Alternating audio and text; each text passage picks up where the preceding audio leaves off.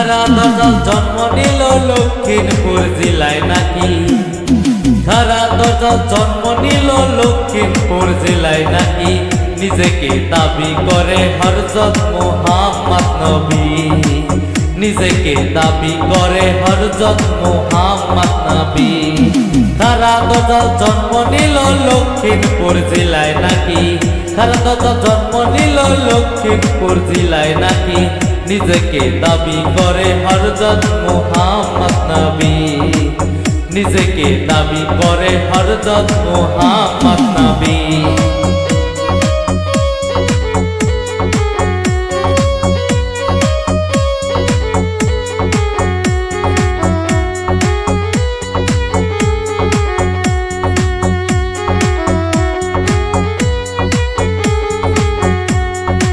দুর্গা পূজা মুসলমানে করতে পারে পালন। সেই কথা বয়ান দিছে ফেসবুকেতে এখন। দুর্গা পূজা মুসলমানে করতে পারে পালন। সেই কথা বয়ান দিছে ফেসবুকেতে এখন। স্পষ্ট হাদিস আছে কুরআনেতে কয় মুসলমানের জন্য কোনো মূর্তি পূজা নয়। স্পষ্ট হাদিস আছে, কুরআনেতে কয়, মুসলমানের জন্য কোনো মূর্তি পূজা নয়। বানরের মতো চেহারা তোর কেমনে করস নবী দাবি?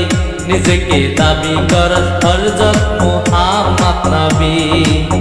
নিজেকে দাবি করস হরজত মুহাম্মদ নবী।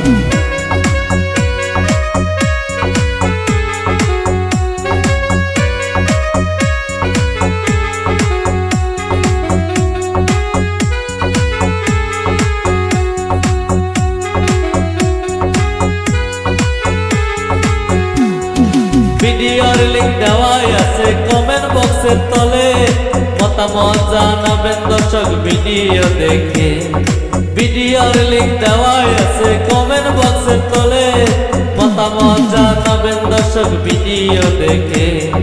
কি মন্তব্য দিল রে হাই সোশ্যাল মিডিয়াতে দুর্গা পূজা মুসলমানে পালন করতে পারে। কি মন্তব্য দিল রে হাই সোশ্যাল মিডিয়াতে?